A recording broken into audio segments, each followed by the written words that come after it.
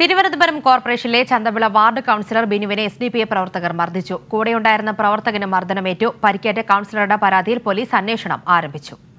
ഇന്നലെയാണ് തിരുവനന്തപുരം കോർപ്പറേഷനിലെ Chanthavila ward councillor ബിനുവിനെ എസ് ഡി പി ഐ പ്രവർത്തകർ മർദ്ദിച്ചത്. കാറിൽ യാത്ര ചെയ്യുകയായിരുന്ന ബിനുവിനെ മൂന്ന് ബൈക്കുകളിലായി എത്തിയ എസ് ഡി പി ഐ സംഘം വാഹനം തടഞ്ഞ് മർദ്ദിക്കുകയായിരുന്നു. ആക്രമണമുണ്ടായ ആലുമൂട് കവലയ്ക്ക് രണ്ട് കിലോമീറ്റർ അകലെയുള്ള മറ്റൊരു സ്ഥലത്ത് വെച്ച് കാറ് പാർക്ക് ചെയ്യുന്നതിന് തുല്യുണ്ടായ നിസ്സാരമായ വാക്കേറ്റമാണ് അക്രമത്തിൽ കലാശിച്ചത്. ഇതിനെ തുടർന്ന് ബൈക്കിലെത്തിയ സംഘം ബിനുവിനെയും സി പി ഐ പ്രവർത്തകനായ ജസീമിനെയും ആക്രമിച്ച് പരിക്കേൽപ്പിച്ചു.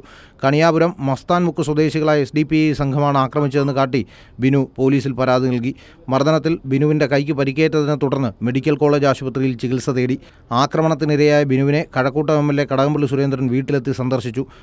എസ് ഡി പി ഐയുടെ പ്രവർത്തന ശൈലി എന്താണെന്ന് വെളിവാക്കുന്നതാണ് നിഷ്കളങ്കനായിട്ടുള്ള സഖാവ് ബിനുവിന് നേരെ നടന്ന ആക്രമണം നമ്മെ ബോധ്യപ്പെടുത്തുന്നത്. ആക്രമണത്തിന് എന്തെങ്കിലും പ്രത്യേക കാരണമുണ്ടായിരുന്നോ എന്ന് ചോദിച്ചാൽ ഒരു കാരണവും പറയാനായിട്ടില്ല. ഏതാനും ഒന്നോ രണ്ടോ കിലോമീറ്ററുകൾക്ക് അകലെ വച്ച് ഉണ്ടായിട്ടുള്ള ഒരു ചെറിയ തർക്കമാണ്. അത് അപ്പം തന്നെ അവസാനിച്ചതാണ്. വർഗീയത അതുമാത്രം കൈമുതലായിട്ടുള്ള ഏതാണ്ട് ഒരു ഗുണ്ടാ സംഘമായി എസ് ഡി പി ഐ അധപ്പതിക്കുന്നോ എന്ന് തോന്നിപ്പിക്കുന്നതാണ് ബിനുവിന് നേരെ നടന്ന ആക്രമണം. ബിനുവിന്റെ പരാതിയിൽ മംഗലപുരം പോലീസ് കേസെടുത്ത് അന്വേഷണം ആരംഭിച്ചു.